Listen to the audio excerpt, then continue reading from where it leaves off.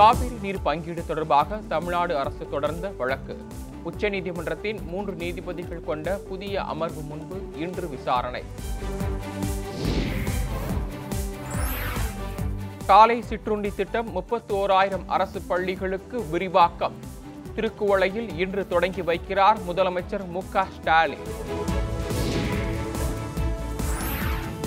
அதிமுக பொதுச் செயலாளர் தேர்தலை எதிர்த்து ஓ பன்னீர்செல்வம் தரப்பு மேல்முறையீடு.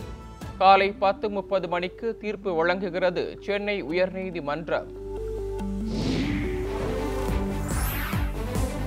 நிலவின் மேற்பரப்பில் ரோவர் ஆய்வை தொடங்கியதாக இஸ்ரோ அறிவிப்பு. விஞ்ஞானிகளை நேரில் பாராட்ட நாளை பெங்களூரு விரைகிறார் பிரதமர்.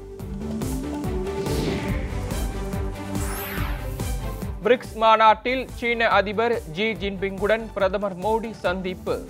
இரு நாட்டு எல்லையில் அமைதியை நிலைநாட்ட முடிவு. உலகக்கோப்பை செஸ் தொடரில் சாம்பியன் பட்டம் வென்றார் கால்சன். இரண்டாம் இடம் பிடித்த பிரக்ஞானந்தாவிற்கு பிரதமர் முதலமைச்சர் வாழ்த்து.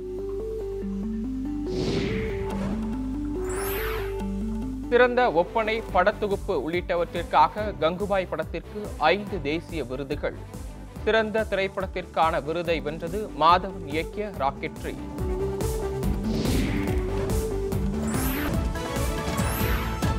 பார்த்திபனின் இரவின் நிழல் படத்திற்காக ஸ்ரேயா கோஷலுக்கு தேசிய விருது. ஷேர்ஷா ஹிந்தி படத்திற்காக இயக்குனர் விஷ்ணுவர்தனுக்கு சிறப்பு விருதும் அறிவிப்பு.